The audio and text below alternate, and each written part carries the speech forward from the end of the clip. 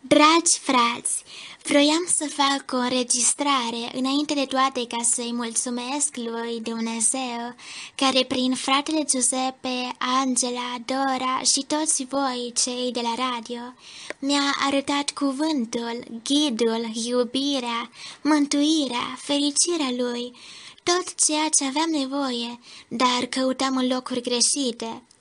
Credeam că ceea ce aveam îmi era de ajuns, dar într-adevăr nu era nimic în comparație cu ceea ce am acum cu Hristos și în Hristos. De multe ori pare că lumea îți poate da tot ceea ce dorești, dar când realizezi că totul are un sfârșit, trebuie să cauți ceva dincolo de acest sfârșit. Așa l-am găsit pe Isus. Îmi plăcea să stau cu căștile la maxim în urechi, umplându-mi mintea cu toată muzica de astăzi.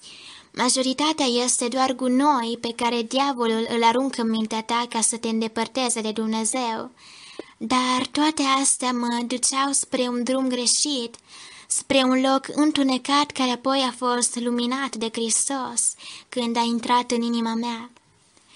Nu am multă experiență, încă am multe de făcut, multe de a ameliora, dar ceea ce încerc să învăț vreau să spun și altora, ca să-i pot ajuta într-un fel. Știu că Dumnezeu a fost mereu aproape de mine, dar eu nu am fost mereu aproape de El. Și este incredibil să gândești la cât de bun este încât să te aștepte, ca să-ți arate că în realitate este El iubirea pe care o căutai. Dacă noi nu simțim aproape de noi prezența Lui, este doar pentru că ne-am îndepărtat de El, dar Dumnezeu ne vede și de departe, numărând pașii care lipsesc ca să ne întoarcem la El. Nu așteaptă altceva decât asta. Când ne naștem, ne găsim într-o lume care este ca vântul, ce ne conduce unde vrea. Dar cel mai frumos moment din viața mea a fost când am descoperit că Dumnezeu este adăpostul de la vânt, adăpostul de la lume. Când am văzut că lumea nu mai funcționa pentru mine, mi-am amintit că există un Dumnezeu. Nu știam bine cine era, așa că am căutat multe răspunsuri de la multe religii, dar avea opinii diferite și nu știam care este cea corectă, așa că îi ceream lui Dumnezeu răspunsul corect. Vroiam vise sau revelații, nu îmi dădeam seama că aveam răspunsul în fața mea, dar nu-l vedeam, nu înțelegeam care era. Așa că am început să citesc Biblia, dar nu știam cum se face. Am căutat și pe internet de unde trebuia să încep. Am început să citesc puțin din Evanghelie, dar citeam într-un mod așa de superficial. Aveam o mare comoară prețioasă înaintea mea și eu eram așa de superficială. Așa că i-am cerut lui Dumnezeu. Domnule, nu înțeleg, trimitem pe cineva care mi explică Biblia, așa că mi-a trimis pe voi. M-ați condus la adevărul care îl căutam Ați fost pentru mine și pentru alții o mare binecuvântare. Pentru persoane ca voi vreau să-i mulțumesc lui Dumnezeu. Sunteți speciali. Mi-ați schimbat complet viața cu o simplă rugăciune ca să-L primesc pe Isus și pe Duhul Sfânt. Îmi amintesc că am simțit de două ori un mare foc care intra în mine cu mare putere. Este imposibil de descris. În sfârșit am înțeles cine era Dumnezeu, Isus Hristos, pură iubire. Am început un drum minunat. Am greșit mult cu temerile și preocupările mele, dar Dumnezeu m-a ajutat mult să las tot ceea ce mă îndepărta de El. Vroiam să fac multe pentru Dumnezeu, pentru că El a făcut multe pentru mine, dar eram tristă pentru că nu o făceam.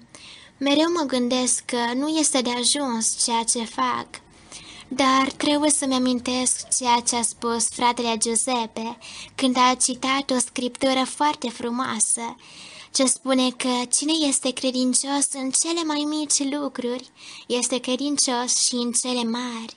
Și nu contează cantitatea, ci calitatea. Și dacă faci ceea ce poți, dar cu toată inima, este mai mult decât să faci multe lucruri, dar cu, doar cu jumătate de inimă. Trebuie să învăț să-i mulțumesc lui Dumnezeu, chiar dacă vorbesc cu o singură persoană despre Isus, dar această persoană l-a primit într-adevăr și, și schimbă modul de a gândi, de a trăi, de a face.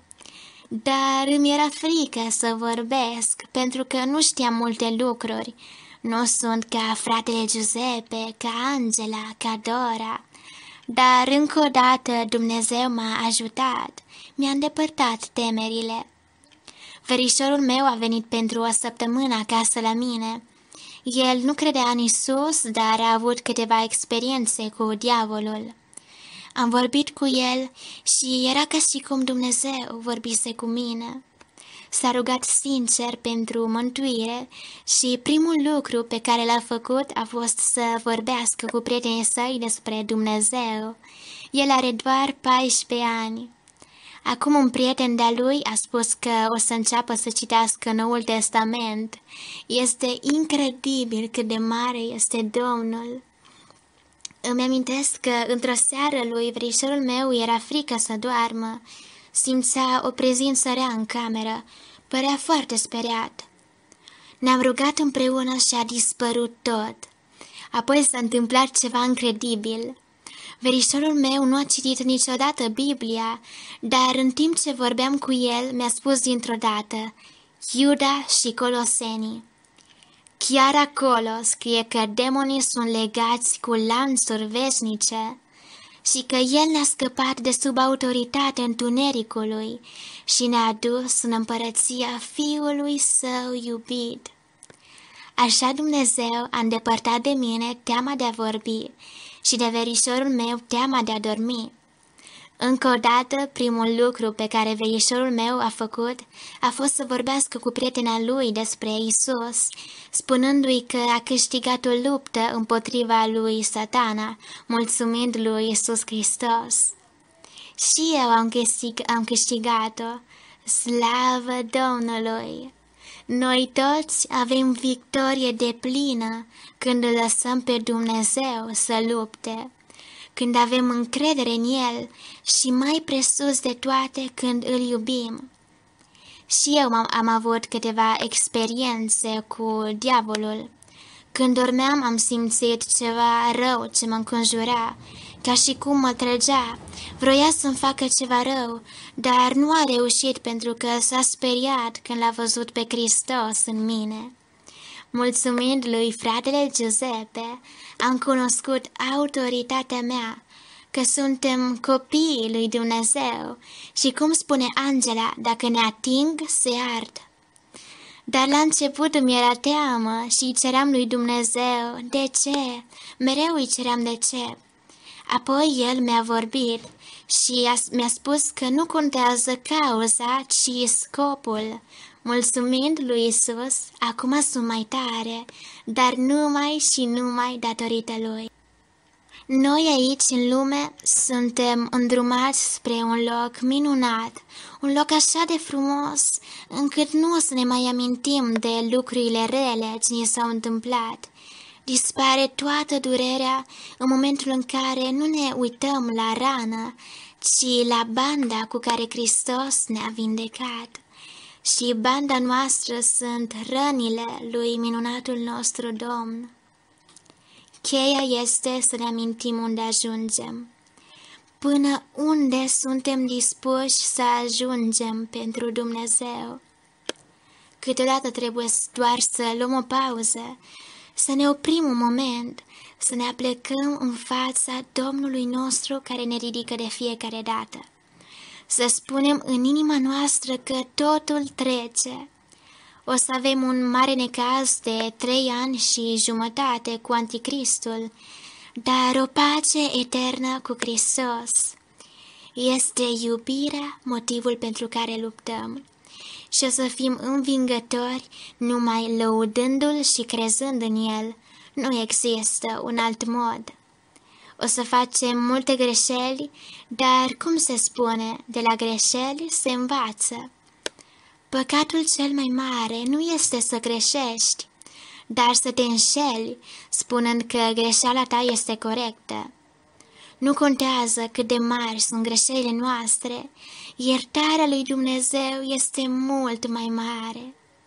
Important este să punem la o parte orgoliul nostru și să admitem că avem nevoie de Salvatorul nostru, Isus Hristos. În momentul în care am făcut acest mare pas, o să fie Dumnezeu cel care ne va ajuta să mergem. Diavolul îți va spune că nu ești vrednic, că nu meriți. Bine, dar Dumnezeu merită iubirea noastră și mult mai mult decât asta. Nu trebuie să trăim în acuzațiile diavolului, trebuie să trăim gândindu-ne că Isus ne-a acceptat, pentru asta a murit pentru noi, ca să ne aducă lângă El în împărăția Lui. Iubiți frați, sunteți vrednici de a zâmbi pentru Hristos. Eu sunt bine încredințată că zâmbetul tău este victoria lui Dumnezeu în viața ta.